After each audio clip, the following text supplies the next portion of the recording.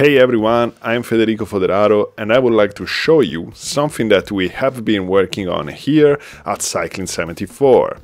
It's a new object called jit.gl.meshwarp, which is part of the new package Jitter Tools.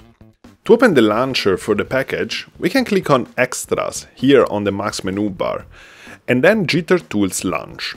The package launcher patcher will open. Here we can see the two new objects introduced with the package, jit.gl.meshwarp and jit.gl.polymovie, plus the updated GGL Texture Set object. Both the jit.gl.polymovie and GGL Texture Set are great, but in this session we will only talk about jit.gl.meshwarp. We will take a look at its help patcher, which is the best way to get started with the object. To open the help patcher, we just need to click here on the Meshwarp text and the help patcher will open. As you can read in the description, the jit.gl.meshwarp object has been designed with video mapping in mind. It allows us to deform the texture material input, so images and videos, and map it to the surface where we are projecting on. Let's see how it works. The video input is displayed on the rendering window, a bit like a jit.gl.videoplane object will behave. Differently from the video plane object though, we got a grid on top of the video, and you can see that the video appearance is deformed. Now, if you don't see the grid, just left click on the video plane with the mouse and it will appear. You can also click outside of the plane to make it disappear. So if we hover with the mouse on top of the vertices of the grid, we see them being highlighted with a red circle. If we click on a highlighted vertex and drag it, we can actually move it and modify the grid and the video appearance. We can think about the vertices of the grid as the control points for the underlying mesh on which the video is displayed. By repositioning the vertices, we can compensate for the distortion caused by a non-flat surface on which we are projecting and make our video look correct. I'm going to show you a practical example of that at the end of this introduction. As you can see from this little bubble comment here, the jit.gl.meshwarp object supports the snapshot system, which is really great. If we click on the snapshot icon, we can see some presets saved with the help patcher. Let's try them out. Great! Let's now explore the interface the object provides us and see how we can interact with it. On the corners of the video plane, we got some orange big circles. Those are the scale handles. If we click on one of them and drag it, we can manually scale the size of the video plane, freely changing the proportions of the image. If we drag and keep the shift key pressed, the plane will be scaled maintaining the current proportions. In the center of the plane we have a big blue circle, which is the position handle, and we can use it to move the video plane horizontally and vertically. So we can click inside the circle and drag the plane in the window. In case we push the plane too far on one side of the screen and the move handle disappears, we can simply grab the plane by pressing Ctrl on Windows or Command on Mac and then dragging with the mouse. So Ctrl or Command plus click and drag will move the plane as well as clicking on the position handle. Very well. Now let's say that you would like to modify the position of more vertices at once. You can do it. Just drag an area of the grid and select all the vertices you wish to move. They will be highlighted in yellow circles. Now click on one of them and drag it. All the selected vertices will move. As you can see, once you select multiple vertices, they will remain selected. To reset the selection, just click on an unselected vertex or outside of the plane. This gives us already some powerful tools, but what happens when we move a vertex by mistake? Let's say you crafted your video mapping, moving all the vertices one by one, and now you are almost finished. You move the last vertex, but it goes outside of the window area. This could be annoying, but luckily we got undo and redo. If you want to undo the latest vertex movement or the scaling or repositioning of the wall plane, just press Command plus Z on Mac or Ctrl plus Z on Windows. You can also redo your latest undos by pressing Command plus Shift plus Z on Mac and Ctrl plus Y on Windows. Great! So these were all the window user interface functions of jit.gl.meshwarp.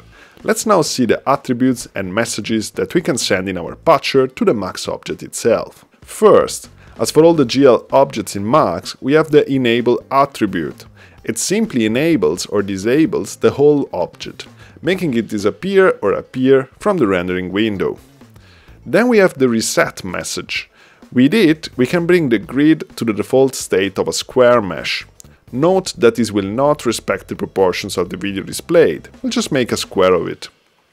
We can see here that we got the undo and redo also as messages that we can send to the jit.gl.meshwarp object. They behave exactly as the keyboard counterpart. Let's move to the second tab of the help file, which contains some attributes to change the appearance of the graphical user interface. Here we can change color and size properties of the UI. Another interesting element that we can see in this tab is this abstraction here. When we click on a vertex of the grid in the window, you will see Xindex appear here in the abstraction. We can then change the position of the vertex using those two flonums. Let's now move to the next tab, called Mesh, where we have some of the common attributes we can find in GL objects. For example, we have the scale attribute, the position, which works only in 2D, since the mesh we're playing doesn't really move on the z-axis, the rotate z attribute, which rotates the plane on its z-axis, and the color attribute with a transparency value. One important attribute is the mesh dim, because of course we can also change the dimensions of our control grid.